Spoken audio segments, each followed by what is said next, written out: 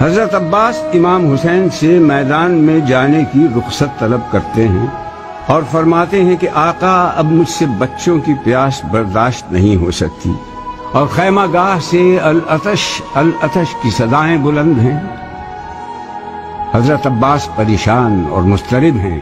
बार बार अर्ज़ करते हैं कि मौला, अब तो लड़ने की इजाज़त दे दीजिए, ताकि दुश्मनान इस्लाम को बंदिश आब का नतीजा दिखा सकूँ। कदमों पे सर को रख के ये बोला वो महजबी कब तक गुलाम सब्र करे या इमाम दी मुझको सुना सुना के ये कहते हैं, अहले की अब फातिमा के लाल का यावर कोई नहीं। आपने फरमाया, अब्बास, तुम मेरे कुत बाजू हो। मैं कैसे मैदान जंग में जाने की इजाज़त दे दूँ? भाई, अगर तुम जाना ही चाहते हो, जंग न करना। क्योंकि आप जानते थे कि अगर हज़रत अब्बास लड़े तो जंग का नक्शा बदल जाएगा। हो सके तो इनके लिए पानी ले आओ। आपको इजाज़त मिल गई। खेमे में दाखिल हुए, सबसे रुखसत हुए। सबको तसल्ली दी। मैदान में तशरीफ़ लाते हैं, आसमान की तरफ़ देखा और कहा, माबूद, तेरे नबी के बच्चों की खातिर थोड़ा सा पानी लेने जा रहा हूँ। मेरे मालिक, तू ऐसा इंतज़ाम कर दे कि मैं मशक सकीना को खैमे तक पहुँचा दूँ। घोड़े को एड़ लगाई और नहरे अलकमी की जानब अपनी रफ्तार तेज कर दी।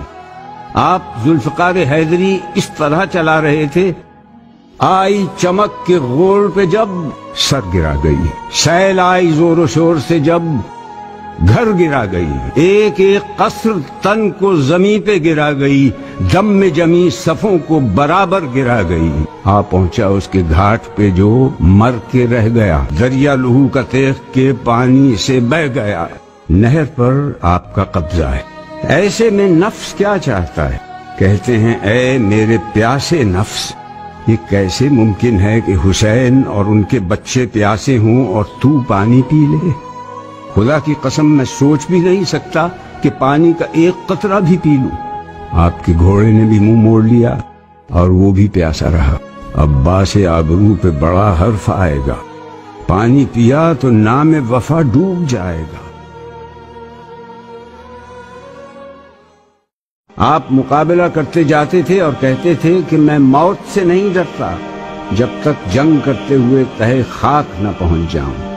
मेरा नफस फर्जंद रसूल के नफस के लिए ढाल है। मेरा नाम अब्बास है। चराग हयात अब्बास गुल हो गया।